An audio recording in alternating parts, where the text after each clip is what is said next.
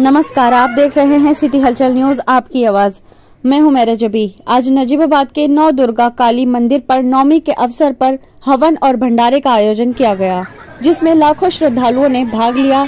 इस अवसर पर ब्लॉक प्रमुख तपराज सिंह मुख्य अतिथि रहे। इसमें आयोजनकर्ता पवन अग्रवाल, सुनील ग्रोवर, सरदार परमिंदर सिंह, हिमांशु प्रधान, गिरीश सिंगल, लव सिम्मी, पूजा सैनी, माया शर्मा संतोष कश्यप सचिन ज्योति अजय वर्मा चित्रांश महेश चंद वर्मा देवेंद्र अग्रवाल एडवोकेट पंकज अग्रवाल लोकेश आदि शामिल रहे।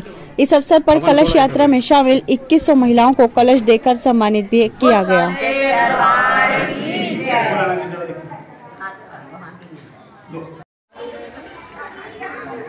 उठा लिए।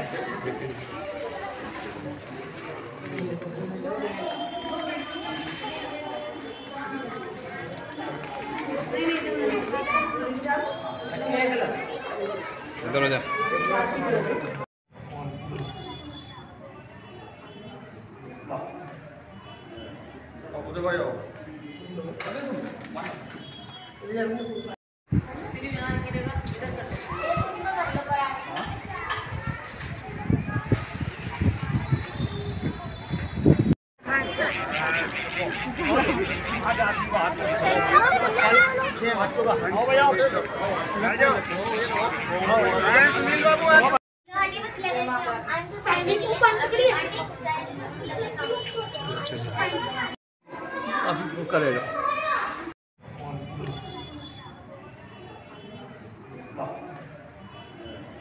उधर भाई